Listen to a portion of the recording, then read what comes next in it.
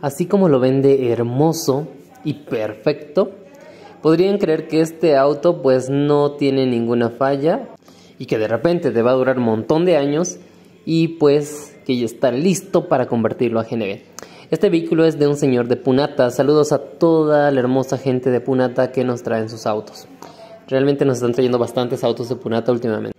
Este señor vino para una conversión de GNB. Le hicimos todos los exámenes y pues obviamente pasó todos los exámenes, todas las pruebas. Tenía buena compresión, tenía buenos correctores, prácticamente todos los datos en el escáner estaban funcionando de maravilla.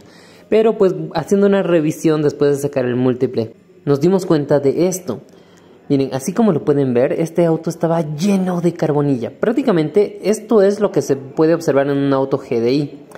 Pero miren, nos dimos cuenta de que la carbonilla ya estaba a punto de desprenderse. Es decir, que este auto iba a soplar válvulas porque la carbonilla se iba a desprender. ¿Qué iba a pasar después? Pues obviamente lo que iba a pasar es que el dueño, después de manejarlo un rato a gas, iba a decir, ay, el gas seguramente es lo que me lo ha arruinado.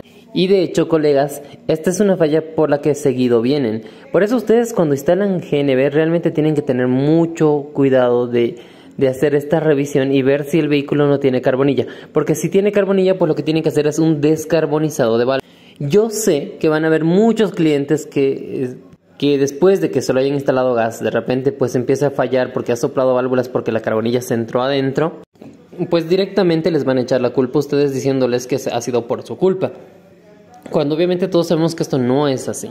Si se dan cuenta, no hay ningún examen que le puedan hacer externamente al carro y que les diga directamente que este auto tiene carbonilla. Eso al final se van a enterar ustedes cuando ya estén haciendo la conversión y cuando saquen el múltiple. Y obviamente no es obligación del taller de conversión de GNB hacerle un descarbonizado de válvulas. No muchos talleres eh, tienen la maquinaria apta para hacer este descarbonizado. Entonces, pero aunque no lo tengan, obviamente podrían hacer simplemente recuerdo al dueño y decirle, ¿no? Tienes que hacer un descarbonizado inmediato para que pues el auto no sople válvulas y pues te funcione bastante bien. En este momento lo que están viendo ya es el descarbonizado.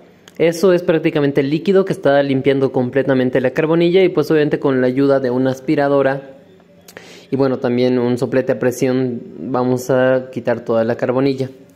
Nosotros en este caso lo estamos haciendo amigos prácticamente simplemente para proteger nuestro trabajo y nuestra calidad en nuestro servicio. Porque la verdad dudo mucho que el dueño quiera pagarnos.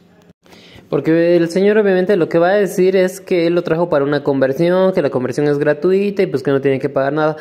Nosotros prácticamente lo estamos haciendo simplemente para proteger la calidad de nuestros trabajos.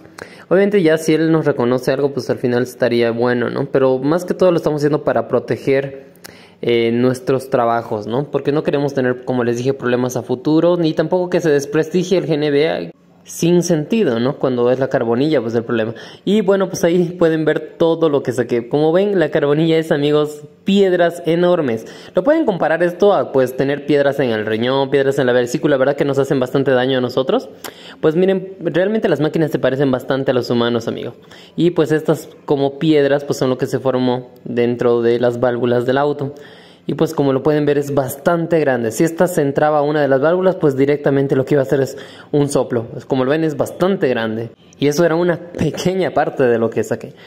Luego obviamente pues lo que hicimos es encender el carro y revisar que los correctores y que todo está funcionando de manera excelente tal y como cuando el dueño nos lo trajo.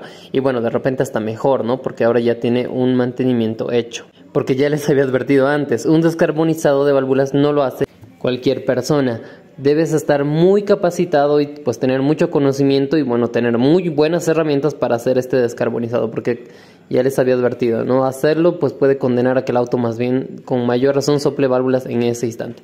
Y bueno, pues ahí ya está, como lo ven, la compresión hecha. La verdad me dio mucho gusto de mostrarles porque como lo ven pues, está bastante limpio, la tapa se conservó en su lugar y pues la rampa está justo abajo sin estorbar nada. Realmente una calidad que solo lo van a tener en GNB o ED Corp.